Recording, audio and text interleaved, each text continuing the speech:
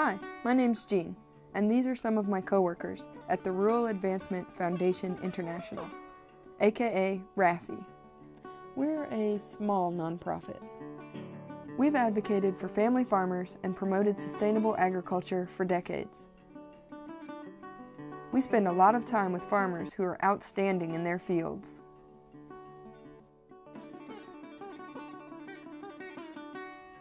For 17 years, we've awarded grants to innovative farmers to help them put their own ideas to work. More than 80% of the projects we've selected have been successful.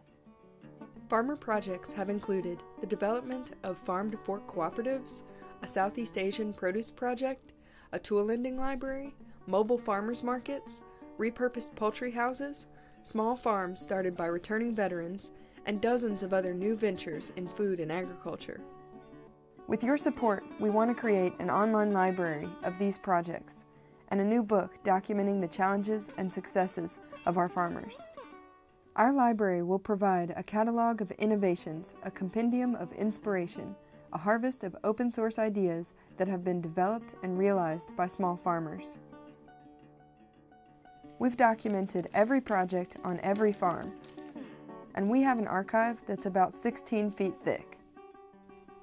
You can help us ensure that the lessons learned by our farmers will benefit as many others as possible. Better models for farmers means more financially sustainable farms, means stronger local economies, means more fresh, healthy food for all of us.